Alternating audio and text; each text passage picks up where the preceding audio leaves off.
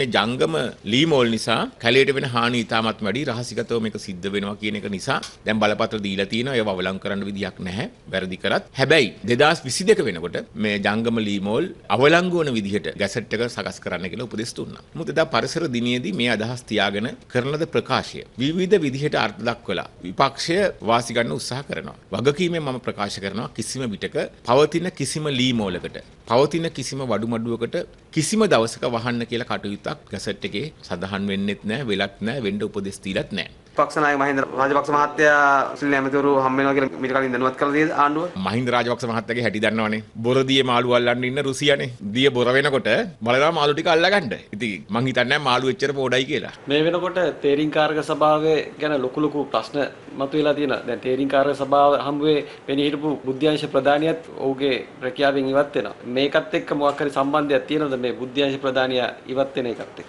මේ රජයේ විශේෂයෙන්ම හිතනවා කොච්චර මඩ වැදුනත් කොච්චර අපිට සෞත්තු කළත් කොච්චර අපිට විරුද්ධව කතා කළත් රටේ වෙන දේ ජනතාව දැනගත යුතුයි කියන එක. ඇත්ත ඇති සැටියෙන් ජනතාවට ඉදිරිපත් වුණොත් ඔවුන් රැවටිලි වලට අහු වෙන්නේ නැතුව අවබෝධ කරගනියි. රටේ මෙහෙම සංස්කෘතියක් ඉස්සර තිබ්බේ නැහනේ. දෙයක් වෙනවා නම් වහලා ගහන එක තමයි කරේ. අපි වහලා ගහන කට්ටියනේ මේ